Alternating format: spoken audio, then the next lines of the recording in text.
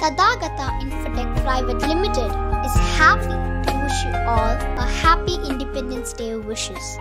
As we are stepping into the 74th year of independent India, it is our responsibility to remind ourselves from the leaders of our past, the vision they had for India.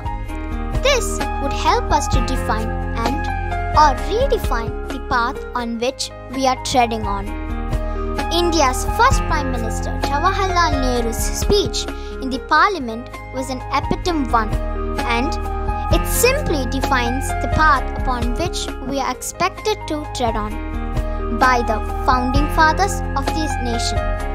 As an honor to them and to understand their vision, let us listen to the words of Jawaharlal Nehru in the following video.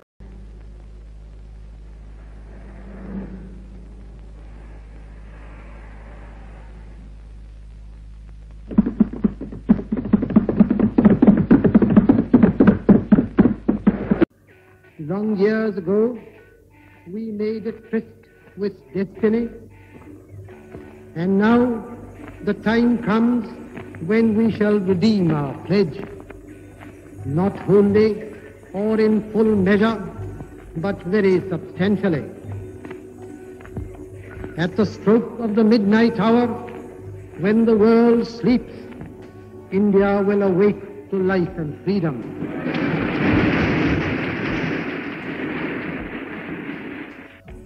A moment comes, which comes but rarely in history, when we step out from the old to the new, when an age ends, and when the soul of a nation, long suppressed, finds utterance.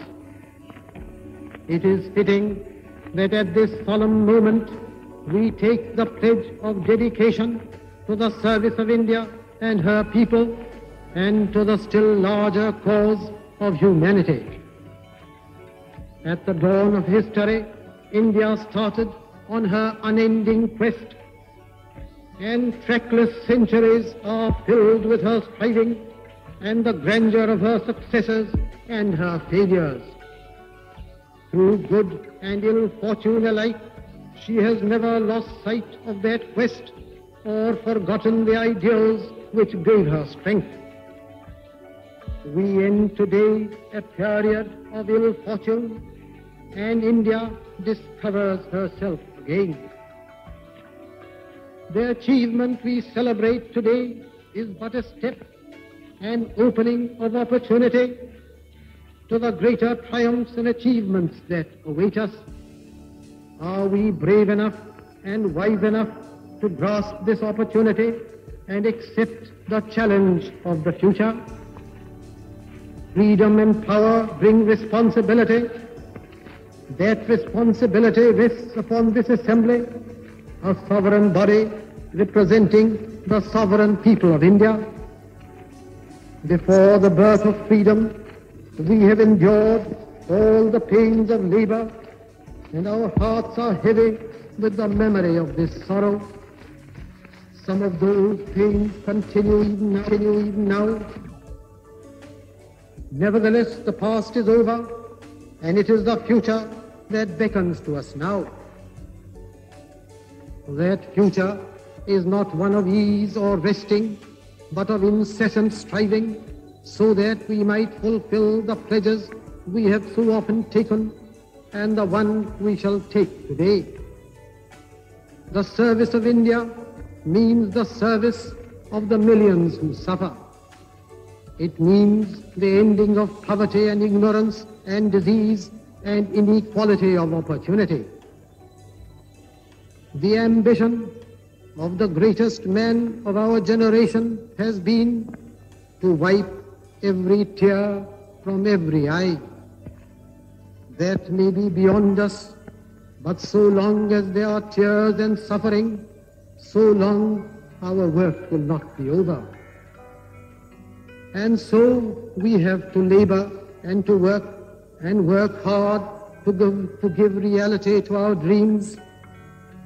Those dreams are for India, but they are also for the world, for all the nations and peoples are too closely knit together today for any one of them to imagine that it can live apart.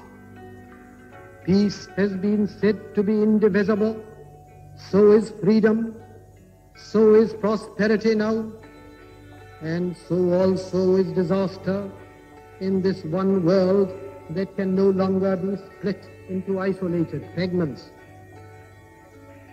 To the people of India, whose representatives we are, we make appeal to join us with faith and confidence in this great adventure.